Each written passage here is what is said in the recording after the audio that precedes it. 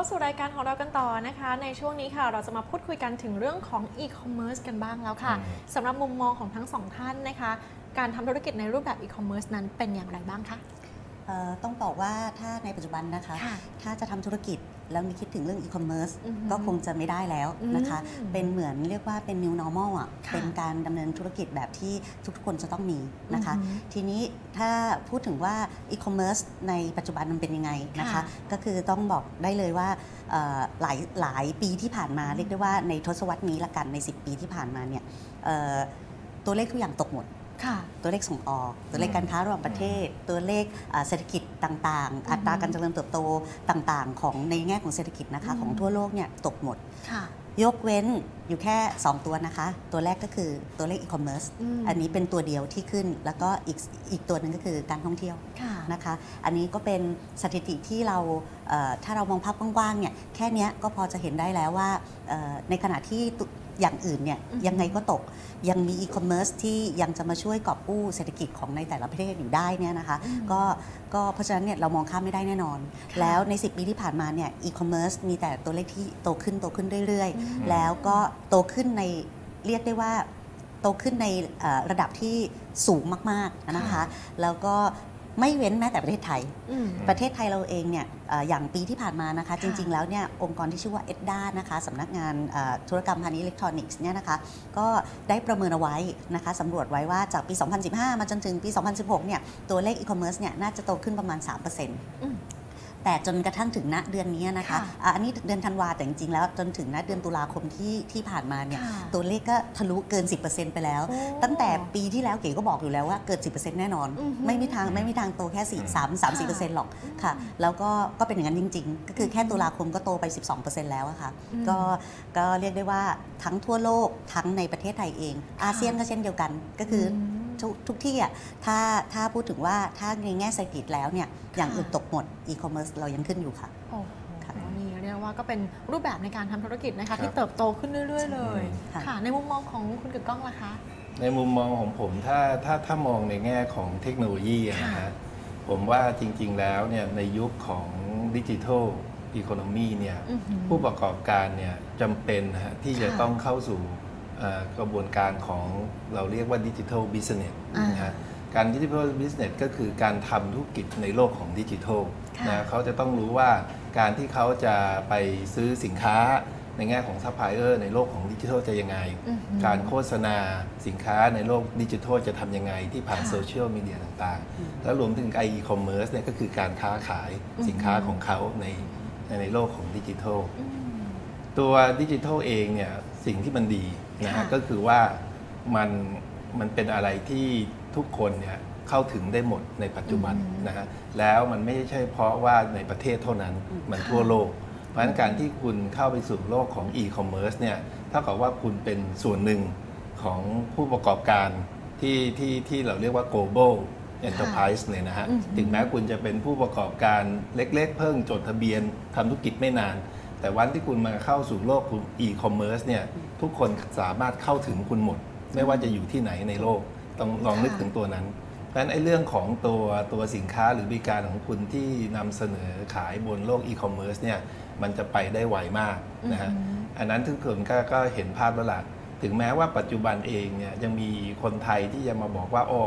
ฉันยังชอบไปซื้อของช้อปปิ้งอยู่อะไรอยู่อะไรเงี้ยเหมือนค่ะเป็น entertain เวลาไปซื้ออาไปช้อปปิ้ง แต่จริง ๆ แล้วเทรนด์ของคนไทยในในเราเรียกว่าเราเรียกว่ายุคคนรุ่นใหม่ดีกว่า ที่ค่ะเราเรียกว่า digital native เนี่ยอือหือก็คือคนที่เกิดหลังปี 2000 เนี่ยเขาค่ะไม่คิดอย่างนั้นนะฮะอืมเขาก็ยังคิดเหมือนกันว่าความสะดวกเนี่ยมาก่อนอืมฉะนั้นเวลาถ้าเขาซื้ออะไรได้เขาก็จะหาซื้อบนอีคอมเมิร์ซก่อนค่ะนะเพราะการซื้อบนอีคอมเมิร์ซเนี่ยมันต่างจากไปซื้อเดินซื้ออันหนึ่งก็คือว่า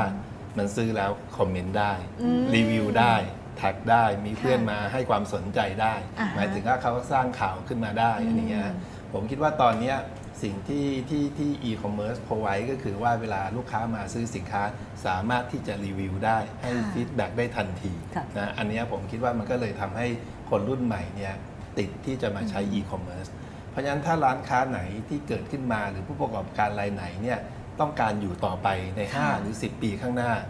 การเข้าสู่ e-commerce เนี่ยเป็นสิ่งสำคัญเลยอืมนะไม่งั้นคุณอยู่ไม่ได้อืมแล้วก็คุณก็จะไม่มีใครเห็น ถ้าคุณยังค่ะเป็นฟิสิกอลอืมนึกถึงสิว่าถ้าคุณจะต้องไปเปิดสาขาทีละสาขา เอาแค่ค่ะทั่วทุกจังหวัดก็ 70 สาขาอืมก็ตายแล้วอืมนะคอสเท่าไหร่ มหาศาลเท่าไหร่จะใช้เวลาเท่าไหร่ใช่ e-commerce เดินมาที่ไทยเพจ นะค่ะผมว่าใช้เวลาเบ็ดเสร็จไม่น่าถึงจะเดือนหนึ่งคุณก็ขายของได้แล้วอ่าเท่ากับว่าคุณก็สามารถที่จะมีลูกค้าได้ค่ะใน70กว่าจังหวัดของประเทศอืมรวมถึงประเทศทุกประเทศทั่วโลกอีกต่างหากอืมนะอันนี้ก็คือข้อดีของ e-commerce ค่ะเรียกว่าตอนนี้อยากจะขายสินค้าอะไรนะคะใช่ก็ครับสามารถค้าขายได้ทันทีเมื่อก่อนใช่เราต้องมีไปดูใช่ทำเลเปิดร้านใช่ครัต่าบงๆสต็อกสินค้าใช่อีกค่าเช่าอีกก็แพงใช่ค่ะแล้วระหว่างอีคอมเมิร์ซในอดีตกับปัจจุบันนี้มีอะไรที่แตกต่างกันไปบ้างไหมคะ อ๋อนี่ถ้าเป็นเด็กรุ่นใหม่เนี่ยอย่างนี้ต้องถามว่า e-commerce ยุคยุคก่อนกับยุคปัจจุบันนะถ้าเกิดเป็นบอกว่ารุ่นรุ่นพี่ขึ้นมานี่อ่าเขาก็ยังแบบแบบเอ๊ยยังยังก้าวข้ามมาแค่ใช่จาก physical มาเป็นออนไลน์นะใช่อ่าแต่ถูกต้อง e-commerce โตเร็วมากค่ะ e-commerce เนี่ยตั้งแต่ 10 ปีที่ผ่านมาอืมกับเทียบกับว่า 5 ปีที่ผ่านมาเนี่ย ต่างกันโดยสิ้นเชิงค่ะนะคะอืมเพราะว่าอ่าส่วนหนึ่งอาจจะเป็นเพราะว่าเทคโนโลยีอ่าอ่าใช่เทคโนโลยีเนี่ยมันทำให้อ่าไอ้คำว่าโลกาภิวัตน์เนี่ยมันพิวัตรจริงอืมๆคือมันมันมันเหนือเหนือวิวัฒนาการค่ะอย่างอืมที่สมัยก่อนอดีตเราต้องต้องการใช้เวลามานานๆ กว่าจะพัฒนาอะไรได้เนี่ยอืมแต่เทคโนโลยีมันทำให้เราก้าวข้ามสิ่งนั้นได้อย่างอืมชัดเจนเลยนะคะ แล้วก็พอเทคโนโลยีมันเปลี่ยนไปค่ะโลกมันเปลี่ยนมากอ่าอืมโลกมันเปลี่ยนมากเนี่ยเอ่อตอนเนี้ยเอ่อ ถ้าเทียบ 5 ปีที่แล้วกับกับยุคนี้นะคะ ถ้าน้องจะบอกว่าอีคอมเมิร์ซยุคก่อนกับยุคนี้นะคะเรียกว่าเป็นยุคเลยนะคะเดี๋ยวเดี๋ยวพี่พี่ก็ของพี่ก็เอ่อพี่คิดว่ามันก็สิ่งที่มันต่างแตกต่างกันมาก ๆ ก็คือเดิมเนี่ยอีคอมเมิร์ซเนี่ยเราบอกว่ามันเป็นตัวที่ connectivity ให้ทุกคนอย่างที่เมื่อกี้คุณกึกก้องบอกไปค่ะว่าเอ่อเชื่อมได้ตั้งแต่ local ไปจนถึงอืม global อืมแต่ว่าวันเนี้ยมันช่วยสร้างอีกอย่างหนึ่งที่เรียกว่า borderless คือหมายถึงว่ามันไม่มีพรมแดนแล้วจริงอืมๆหมดสิ้นแล้วคำที่บอกใช่ว่าถ้าเกิดว่าจะต้องจะต้องไปซื้อของที่เป็น ซูวิเนียสักประเทศหนึ่งเนี่ยอ่าฮะต้องเดินทางไปที่นั่นโดยที่เอื้อมไม่ถึงเนี่ยค่ะ เดี๋ยวนี้มัน borderless มาก ๆ มันไร้ค่ะพรมแดนจริงอืมๆอยากจะได้สิ่งของอะไร อยากจะหาสิ่งของอะไรอืมหาได้ผ่าน e-commerce แต่ก่อนสินค้าไทยนะคะ จนกระทั่งถึงปัจจุบันนี้นะคะค่ะสินค้าไทยเนี่ยเป็นที่ต้องการมากอืมของทั่วโลกนะคะ จนอืมกระทั่งถึงทุกวันเนี้ยถ้าค่ะเกิดเรียกว่าอาเซียนนะถ้าอ่าฮะเทียบในอาเซียนกันเองเนี่ยสินค้าไทยเรียกได้ว่าเป็นสินค้าที่ถือว่า best quality นี่ในอาเซียน แล้วก็ในประเทศอีกหลาย ๆ ประเทศนะคะค่ะยกตัวอย่างเช่น อเมริกาอ่ายุโรปเออออสเตรเลีย กลุ่มประเทศเหล่านี้เขาจะเป็นกลุ่มคนที่ชอบ อะไรที่มีความยูนิคอะอืมอ่าเพราะฉะนั้นเนี่ยคำว่าไทยเนสเนี่ยค่ะในสินค้าไทยหรือว่าอืมบริการของไทยเนี่ยอืมเป็นจุดเด่นจุดแข็งของเรามากอืมแต่ว่าสมัยก่อนเนี่ยค่ะเราให้คนเหล่านี้มาสัมผัสกับสินค้าหรือว่าสิ่งที่เรามีดีๆ เรียกว่าไทยเนสเนี่ยค่ะได้ก็ต่อเมื่อเขาเดินทางมาอ่าก็ต่ออมเมื่อเขามาเป็นทัวริสต์ค่ะแต่ว่าปัจจุบันเนี่ยเอ่อมันไม่ต้อง เขายังอยากมาท่องเที่ยวเมืองไทยอยู่อือฮึแต่ในขณะเดียวกันเมื่อไหร่ก็ตามที่เขาคิดถึงของไทยอืมคิดถึงสินค้าไทยค่ะเขาสามารถเลือกซื้อได้ เขาสามารถเข้ามาค้นหาได้ แล้วก็ t h a i t c o m ก็เป็นช่องทางหนึ่งที่เขาให้ความน่าเชื่อถือ แล้วก็เข้ามาค้นหาสินค้าอืมนี่อันนี้พี่คิดว่ามันเป็นเอ่อความแตกต่างของค่ะ e-commerce ยุคก่อนที่คนก็เอ่อใช้มันเป็นเหมือนกับอืมอิเล็กทรอนิกส์เวสแต่ในวันเนี้ยมันเหมือนเป็น เป็นประตูและหน้าต่างที่ขาดไม่ได้ที่เราจะต้องเปิดออกไปทุกวันอืมค่ะค่ะอืมถ้าเกิดในด้านของเทคโนโลยีล่ะคะ มีอะไรที่แตกต่างกันไปบ้าง จริงๆ ตัวตัวที่ที่แตกต่างค่ะมาเยอะเนี่ยก็คือเรื่องของการชำระเงินอืมนะที่เห็นชัดเลย สมัยก่อน e-commerce เนี่ยค่ะก็จะเป็น traditional ก็คือเอาของมาโชว์อ่าอ่าถ้าสนใจก็โทรหาอ่านะหรือนัดไปรับแล้วก็จ่ายเงินอืม เรื่องของเทคโนโลยีเรื่องของ payment เนี่ยค่ะที่ที่เราเรียกว่าตัว payment gateway เนี่ยมันมีการปรับปรุงพัฒนาขึ้นมาเยอะอืมแล้วทำให้เรื่องของ security เนี่ยดีขึ้นค่ะโดยเฉพาะอย่างเช่นเรื่องของของที่เห็นชัดอย่างเช่น การซื้อขายด้วยบัตรอืมนะแต่ก่อนเนี่ยมันก็จะเป็นการแค่ให้เบอร์บัตรอืมให้ให้ตัววันหมดอายุอะไรแค่นั้นเนี่ยดูเหมือนไม่ไม่ปลอดภัยค่ะแต่ปัจจุบันเนี่ยถ้าเห็นเลยว่าเวลาคุณจะไปซื้อของอีคอมเมิร์ซด้วยบัตรเครดิตหรือบัตรเดบิตเนี่ย มีการส่ง OTP มาอืมเรื่องของ one-time ค่ะ password มา คุณจะต้องเอา one-time password ไปใส่เพื่อให้มานั่นใจอืม และเรื่องของเรื่องของตัวข้อมูลบัตรเนี่ยก็จะค่ะไม่รั่วไหลอืมนะฮะเพราะว่ามันจะถูก secure ไว้อย่างดีนะเพราะฉะนั้นไอ้ตัวเนี้ยจะทำให้ผู้ซื้อเนี่ยมั่นใจค่ะฉะนั้นตัว e-commerce เนี่ยจะสำคัญเนี่ยมันอยู่ที่ผู้ซื้อที่จะกล้าซื้ออืมมันไม่ใช่อยู่ที่ผู้ขายนะค่ะเพราะผู้ขายเนี่ยกล้าขายอยู่แล้วอ่าฮะมีสินค้าไปอยู่บน e-commerce เนี่ยถ้าเราจะทำไงให้ผู้ซื้อเนี่ยมีความสะดวก มีความมั่นใจในการซื้อสินค้าและบริการผ่านระบบ e-commerce อืมนั่นคือสิ่งที่ธนาคารกรุงเทพพยายามทำมาตลอด ที่ค่ะจะ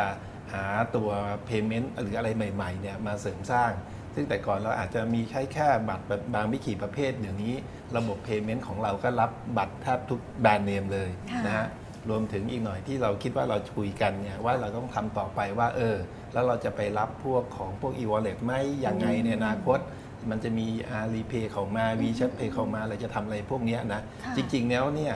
สิ่งที่เราต้องการไปเนี่ยก็คือพวก เพื่อความมั่นใจแล้วก็ความสะดวกของผู้ซื้อเป็นหลักเลยอืมแล้วก็ทำให้เขามั่นใจได้ว่าเขาเวลาซื้อไปแล้วเขาได้สินค้าค่ะเราจะต้องมี escrow account ไหม ก็คือเวลาผู้ซื้อซื้อธนาคารจะต้องดูแลเงินไว้ก่อน จนกว่าเขาจะได้รับของเราถึงจะจ่ายเงินให้กับผู้ขายอืมแบบเนี้ยเราคุยกันตลอดว่าเราจะมาช่วยกันปรับปรุงไปยังไงนะเพราะฉะนั้นค่ะตัวนี้ผมคิดว่าที่เราจะจะเห็นข้อแตกต่างก็คือว่า ที่เราจะเห็นข้อแตกต่างในจากอดีตกับปัจจุบันก็คือเรื่องของระบบ payment นะที่ที่เปลี่ยนแปลงนะฮะถ้าเกิดพูดถึงในเรื่องของความมั่นใจนะคะในการจ่ายเงินชำระค่าสินค้าต่างๆเรียกว่าตอนนี้เนี่ยในความรู้สึกของเราเองนะคะผู้บริโภคเองหรือว่าผู้ที่ซื้อสินค้าเองมีความมั่นใจเพิ่มมากขึ้นเยอะมากๆเลยทีเดียว ถ้าเกิดเป็นสมัยก่อนเนี่ยจะมีความรู้สึกว่า มันจะไม่ปลอดภัยหรือเปล่า จ่ายเงินไปจะได้ของจริงไหมหรือว่าเงินที่จ่ายไปจะไปถึงคนใช่ครับไปถึงผู้ขายจริงหรือเปล่าแต่ว่าตอนนี้เนี่ยการซื้อขายรู้สึกว่าจะง่ายขึ้นมากเลยด้วยใช่แล้วก็เรื่องของความปลอดภัยความมั่นใจก็มีมากขึ้นด้วยนะคะครับถ้าเกิดถามถึงสินค้าในตลาดตอนนี้มีสินค้าใดบ้างคะที่ได้รับความนิยมในการซื้อขายผ่านช่องทางอีคอมเมิร์ซค่ะจริง ๆ แล้วประเทศไทยเราเนี่ยมีสินค้าที่เรียกว่าสินค้า สินค้าเด็ดนะคะค่ะอยู่หลายประเภทนะคะ อืมก็ถ้าเกิดว่าเป็นสินค้าที่เป็นที่นิยมในประเทศ กับสินค้าที่เป็นที่นิยมในต่างประเทศเนี่ยค่ะจริง ๆ แล้วมันมีความแตกต่างกันเล็กน้อย อืมแต่ว่าถ้านับเป็น category ใหญ่ๆเนี่ยนะคะ ค่ะก็จะไม่เกินเอ่อสินค้าไทยแน่นอนสินค้า food นะคะอ่าสินค้าอาหารและเครื่องดื่มนะคะ อืม สินค้าเอ่อที่มาแรงตอนนี้ beauty อืม beauty products and spa นะคะ ค่ะเอ่อสินค้าไลฟ์สไตล์นะคะอ่าแฟชั่นเนี่ยเป็นสินค้าที่ขายดีมากบนอีคอมเมิร์ซค่ะ เชื่อว่าน้องเผาก็ต้องเคยซื้อแน่นอนนะคะค่ะแล้วก็เอ่อสินค้าพวก เอ่อเครื่องตกแต่งบ้านอ่าที่มันชิ้นไม่ใหญ่จนเกินไป ก็เป็นอืมสินค้าที่เอ่อนิยมเหมือนกันในอีคอมเมิร์ซค่ะในขณะเดียวกันสินค้าที่เป็นชิ้นใหญ่ อย่างเช่นเฟอร์นิเจอร์ก็กลายเป็นสะดวกในการที่เขาจะสั่งซื้อโอ้แล้วก็ให้มาส่งที่บ้านเลยอย่างนี้อืมก็เหมือนกัน ก็เลยค่ะทำให้เอ่อกลุ่มสินค้าเหล่านี้ค่ะ เป็นกลุ่มสินค้าที่ได้รับความนิยมค่อนข้างสูงอืมในการขายอืมอีคอมเมิร์ซอือหือค่ะค่ะแล้วถ้าเกิดว่าการทำธุรกิจในรูปแบบนี้นะคะมีจำนวนผู้ประกอบการที่ขึ้นทะเบียน แล้วก็ยังไม่ขึ้นทะเบียนมากน้อยแค่ไหนอย่างไรบ้างคะเอ่อ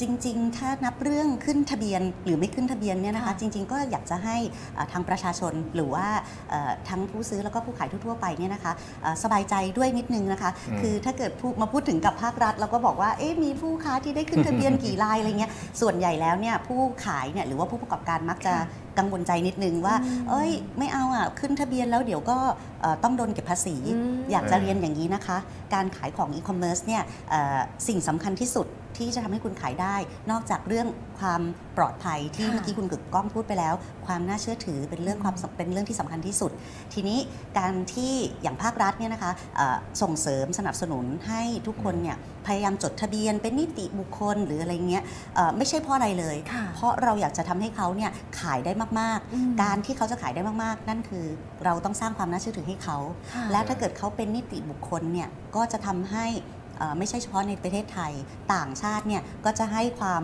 เอ่อเชื่อถือว่าอืมบริษัทเนี้ยมีตัวตนจริง ๆ สามารถติดต่อได้ติดตามอืมได้อืมอันนั้นมากกว่าที่อยากจะให้ผู้ประกอบการเนี่ยเอ่อ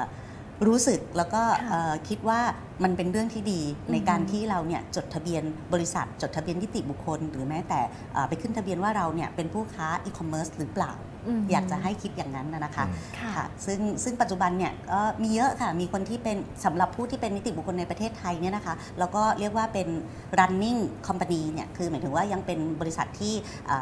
เอ่อเปิดให้บริการดำเนินธุรกิจอยู่ตลอดเนี่ยมีโอ้ยหลายแสนรายเลยค่ะ ตั้งเอ่อเกิน 6 0แสนรายอือหือนะคะ ในส่วนที่เป็น SME ยังมีอีกตั้งเยอะอีกตั้ง 2 ล้านกว่ารายเนี่ยก็อยากจะเอ่ออยากจะให้เขาเห็นความสำคัญของตรงตรงนี้แล้วก็เอ่อมาเป็นนิติบุคคลเพื่อที่จะได้มีความน่าเชื่อถือมากขึ้นค่ะอือหือค่ะ เห็นแล้วนะคะว่าตอนนี้อีคอมเมิร์ซเองค่ะขยายตัวเติบโตไปอย่างรวดเร็วมาก เพราะฉะนั้นค่ะเดี๋ยวช่วงหน้านะคะเรามาดูกันว่าจะมีช่องทางไหนบ้าง ที่จะทำให้ผู้ประกอบการในกลุ่มอีคอมเมิร์ซนี้สามารถค้าขายกับต่างชาติได้ง่ายขึ้นค่ะ ช่วงนี้ไปพักกันสักครู่ค่ะ เราเป็น marketer ของประเทศ แล้วเราก็รู้แล้วโลกมันเปลี่ยนแปลงไปอือฮึวิถีการดำเนินชีวิตของเออพวกเราก็เปลี่ยนแปลงไป พฤติกรรมการบริโภคเราเปลี่ยนแปลงไปมาก เพราะฉะนั้นเนี่ยผู้ประกอบการหรือว่าคนที่ดำเนินธุรกิจเนี่ยไม่เปลี่ยนก็คงจะอยู่ไม่รอด นั่นก็เป็นสาเหตุหลักๆนะคะ ที่ค่ะทำให้กระทรวงพาณิชย์เราเนี่ยก็เลยต้องเอ่อริเริ่มเอ่อโครงการอะไรสักอย่างที่จะช่วยให้ผู้ประกอบการเนี่ยสามารถ survive ได้ในยุคค่ะที่เป็นดิจิทัลอย่างนี้นะคะอืม